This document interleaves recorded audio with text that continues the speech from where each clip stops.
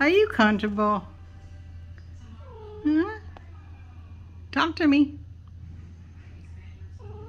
Ah.